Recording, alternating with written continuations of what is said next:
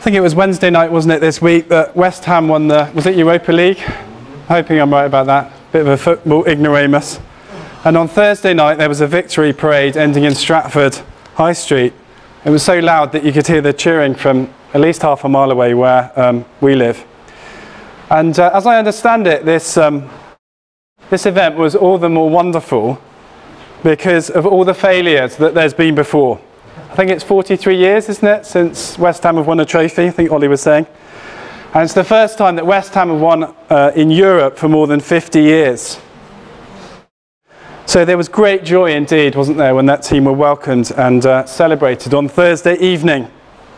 And as we've been seeing in the story of Joseph, one of the big lessons, the surprising lessons, the mind bending lessons even of the story of Joseph, uh, is that God works through the evil actions, He works through evil actions of people to bring about His good purposes.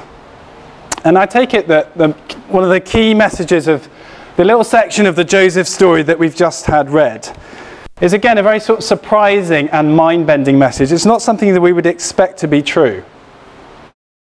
But that as God works through evil situations to bring about good, so God works part of that process is God working through very difficult situations, situations which expose our guilt, uh, situations of deep fear, uh, as part of achieving that good, his plan of salvation.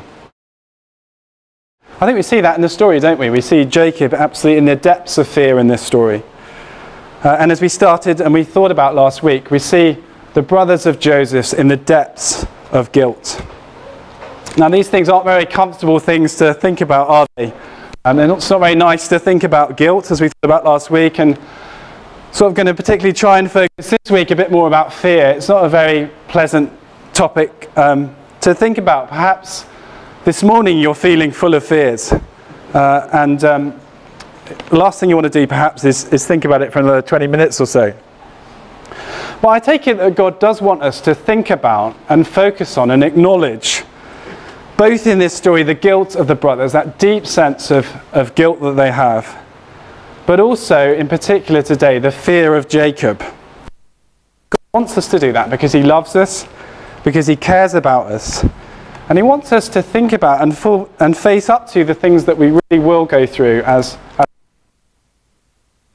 That's what I think the message of the second half of the story is acknowledge the depths of guilt and fear through which God works to achieve his salvation. Acknowledge the depths of guilt and fear through which God works to achieve his salvation.